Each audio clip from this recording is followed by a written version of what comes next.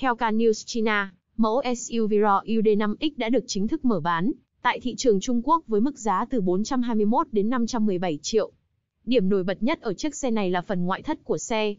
SAIC tuyên bố Raw UD5X có thân vỏ siêu bền thế hệ, mới có tỷ lệ thép cường độ cao 79% và thép cường độ siêu cao 44% cao nhất trong cùng phân khúc. Chiếc xe cũng đã 3 lần hoàn thành bài kiểm tra va chạm cực kỳ an toàn của Viện Nghiên cứu ô tô Trung Quốc. Trong thời gian mới mở bán, xe sẽ có ưu đãi 35 triệu cho những khách hàng đặt cọc trước, ngoài ra cũng bao gồm 6 ưu đãi khác nhằm thu hút người mua. Mẫu xe mới có kích thước lần lượt là dài 4.700mm, rộng 1.890, cao 1.664mm và có chiều dài cơ sở là 2.765mm. Tùy thuộc vào từng phiên bản, nó đi kèm với bánh xe 19 hoặc 20 in. Thiết kế xe khá gọn gàng, với ngôn ngữ thiết kế mới lấy cảm hứng từ kiến trúc cổ điển Trung Quốc. Mặt trước trang bị lưới tản nhiệt khép kín và tay nắm cửa ẩn hai bên. Bên trong xe có cửa sổ trời, và màn hình kép 24.6 inch kết hợp cả màn hình đồng hồ, và màn hình thông tin giải trí.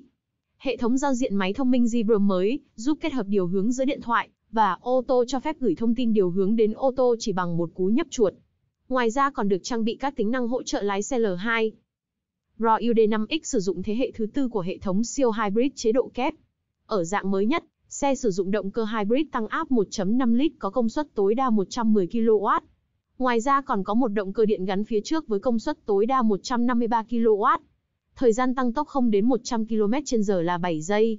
Phạm vi chạy hoàn toàn bằng điện là 135 km với phạm vi kết hợp là 1.300 km.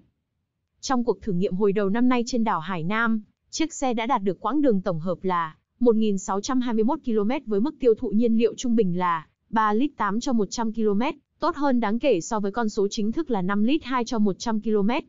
Pin có thể hỗ trợ xả bên ngoài lên tới 6 kW.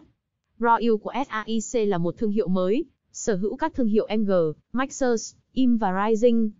SAIC cũng là một phần của liên doanh SGMV kép sản xuất Huling Bingo, Haguang Mini F, bao Junzep. Tại Trung Quốc, nhà sản xuất ô tô có trụ sở tại Thượng Hải cũng sản xuất Volkswagen, Buick, Cadillac và các loại xe khác. you